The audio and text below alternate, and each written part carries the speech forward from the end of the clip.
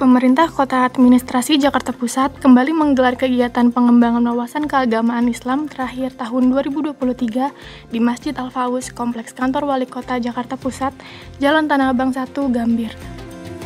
Karena ini beriringan dengan pelaksanaan sholat zuhur, jadi memang kita tidak perlu repot lagi mengundang mereka dalam bentuk misalkan surat undangan atau surat edaran karena memang uh, nempel di kegiatan sholat zuhur berjamaah. Kegiatan ini diawali dengan sholat zuhur berjamaah dan dilanjutkan dengan kajian kitab Fatul Mu'in yang membahas tentang hal-hal yang dapat membatalkan wudhu yang disampaikan oleh Kiai Haji Maulana Kamal Yusuf. Tim Kominfotik Jakarta Pusat mengabarkan.